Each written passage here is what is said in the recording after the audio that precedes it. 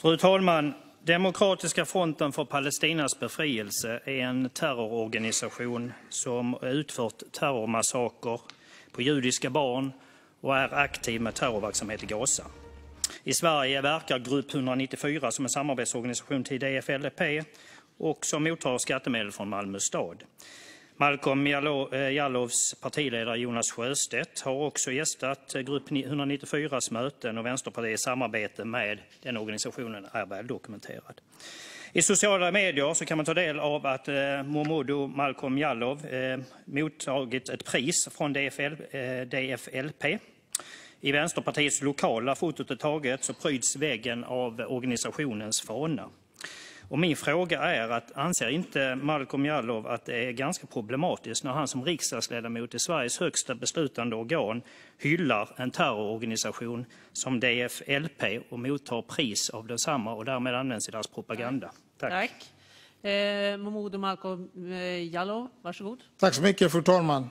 Det är väldigt uh, märkligt, eller vad ska jag säga, kanske inte märkligt, men det är förväntat att Björn Söder ställer sig här och ställer en fråga som inte har med min anförande att göra. Att när jag pratar om företag, svenska företag, västländska företag och ner till Afrika, britter, alltså alla grundläggande rättigheter, mot alla grundläggande rättigheter, mot mänskliga rättigheter och Björn Söder kommer med en fråga som handlar om Palestina som min kollega Håkan Svenneling har varit här tidigare och berättat vad vi står i den frågan. Det säger väldigt mycket att du inte vill, Björn Söder inte vill prata om när svenska företag åker till Afrika och bryter mot lagstiftningen men vill hellre prata om eh, när afrikaner är i Sverige eh, och hur man ska lämna, skicka tillbaka dem till Afrika. Det är det ni pratar om hela tiden. Det här främlingsfientligt, den här bilden som, som man, jag inte delar, som många i Sverige inte delar vad det gäller mänskligheten, vad det gäller mänskliga rättigheter. Jag vill gärna höra dig prata om just de här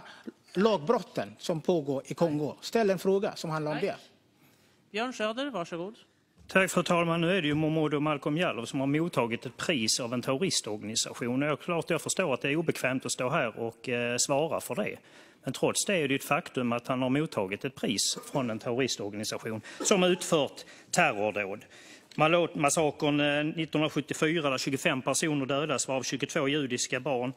Den här gruppen som är samarbetsorganisation som Vänsterpartiet har samarbete med, Grupp 194, de hade ett arrangemang i Vänsterpartiets lokaler i Malmö eh, där man skriver på sin hemsida att sista delen av evenemanget var visningen av filmen Malott som återger DFLPs heroiska revolutionära beväpnade styrkors heroiska operation Malot eh, Tarshia. Detta är alltså eh, en grupp som eh, organisation som Malcolm har, eh, Momodou Malcolm Jallow har tagit emot pris från. Jag tycker att han är faktiskt svaret skyldig till svenska folket och till de som har röstat in honom här i Sveriges riksdag att också svara för det, hur man kan ta emot ett pris från en terroristorganisation. Tack. Tack. Jag vill återigen... Slutreplik, Momodou Malcolm Jallow, varsågod. Tack, fru talman. Jag vill återigen konstatera att Björn Söder har inget intresse av mänskliga rättigheter i Afrika som jag och hela min anförande handlar om.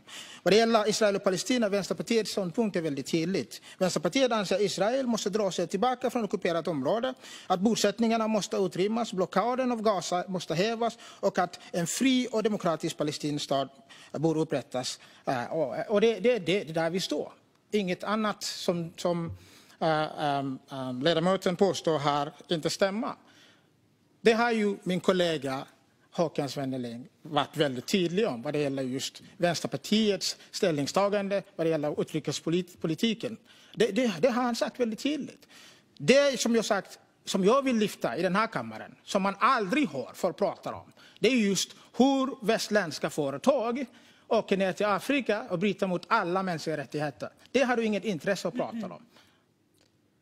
Du får gärna ställa en fråga som handlar om det. Tack. Tack för det. Och där var det replikskiftet avslutat. Och ordet för anförande.